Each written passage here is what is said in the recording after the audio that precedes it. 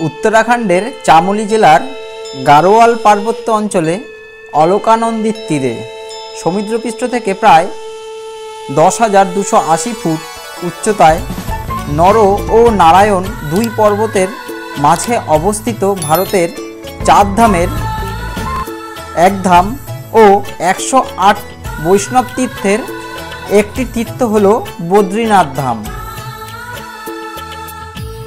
এই মন্দির বদ্রীনারায়ণ মন্দির নামেও পরিচিত। এই মন্দিরে বিষ্ণু দেবতাকে বদ্রীনারায়ণ নামে পূজা করা হয়। মন্দিরের বিগ্রহটি কোষ্ঠী পাথর দিয়ে নির্মিত। আদিগুরু শঙ্করাচার্য ভারতের চারধাম যাত্রা শুরু করেছিলেন এই বদ্রীনাথ মন্দির থেকেই। অনেকের মতে তিনি এই মন্দিরের প্রতিষ্ঠা করেছিলেন। বদ্রীনাথ মন্দির হল ভারতের জনপ্রিয় মন্দিরগুলির মধ্যে অন্যতম। প্রতি বছর এপ্রিল মাস থেকে অক্টোবর মাসের শেষের দিক পর্যন্ত এই মন্দির খোলা থাকে।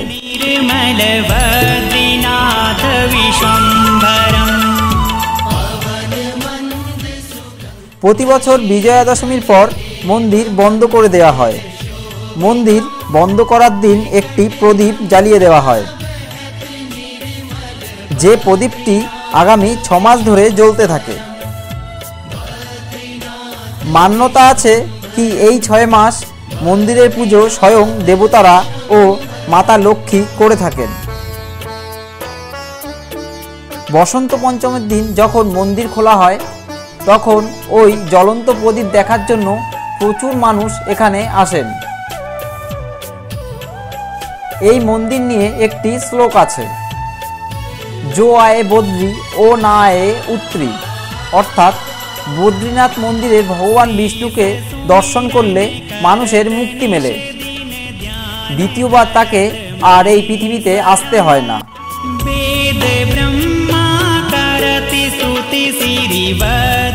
শোনা যায় এই মন্দিরের ভক্তরা অলোকানন্দা নদীকে দর্শন করে তপ্তকুণ্ডে স্নান করার পর বদ্রীনাথ দর্শন করেন।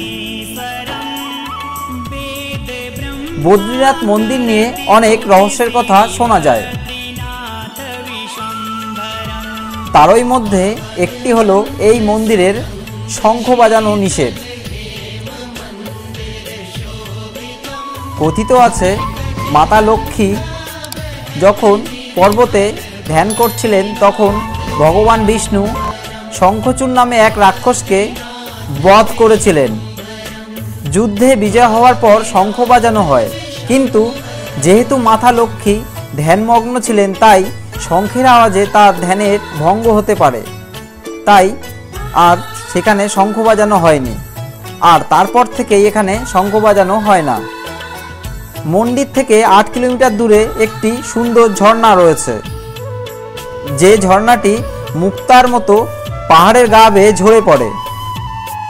কথিত আছে, কোনো পাপি মানুষের গায়ে এই ঝর্ণার জল পড়ে না। যদি সে ঝর্ণার নিচে গিয়েও দাঁড়ায়, তবুও তার গায়ে এই ঝর্ণার জল স্পর্শ করে না। শুধুমাত্র একজন সৎ মানুষের গায়েই এই ঝর্ণার জল পড়ে। যদি আপনি এই বদ্রীনাথ মন্দিরের পা রাখেন, তাহলে আপনি একটি অলৌকিক শক্তির অনুভব করতে পারবেন। তাই দর্শক বন্ধুরা, যদি কোনো দিন উত্তরাখণ্ডে যান, তাহলে এই স্থান থেকে অবশ্যই ঘুরে আসবেন।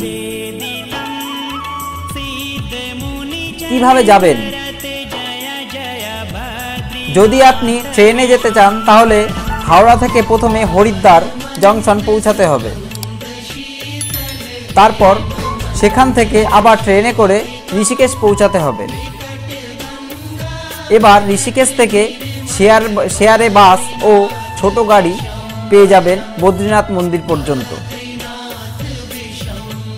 এছাড়াও হরিদ্বার ও দেরাদুন স্টেশন থেকেও বদ্রীনাথ আসা যায়।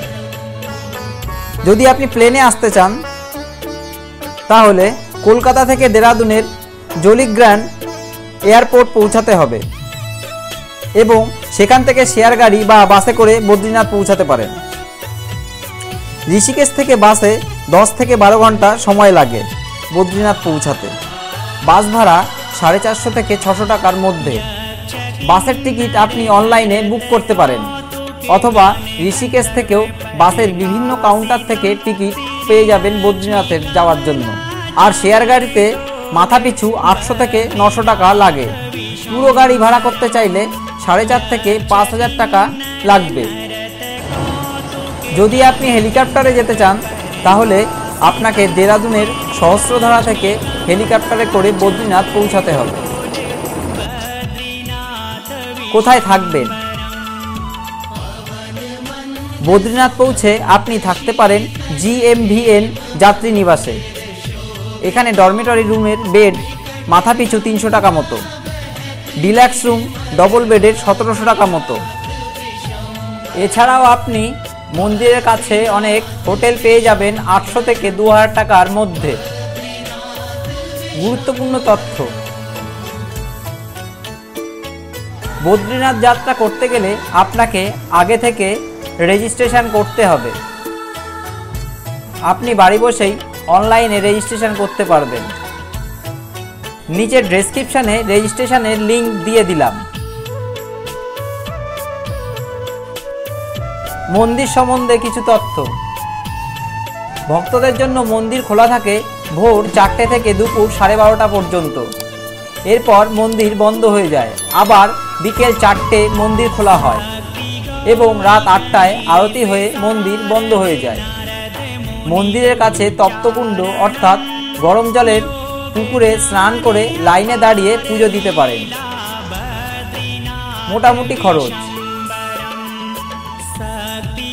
সাধারণভাবে আপনি যদি বদ্রীনাথ দর্শন করতে চান, তাহলে মাথাপিছু কম বেশি পাঁচ থেকে ছ হাজার টাকা খরচ হবে। আজ তাহলে এ পর্যন্তই। দেখা হবে আবার নতুন কোনো ভ্রমণের ভিডিও নিয়ে। ভিডিওটি ভালো লাগলে লাইক, কমেন্ট ও শেয়ার করতে ভুলবেন না। আর আমার চ্যানেলে নতুন এসে থাকলে চ্যানেলটি অবশ্যই সাবস্ক্রাইব করবেন। কারণ আমি এই ধরনেরই ভ্রমণের বিভিন্ন ভিডিও এই চ্যানেলে দিয়ে থাকি। ভালো থাকবেন, ধন্যবাদ।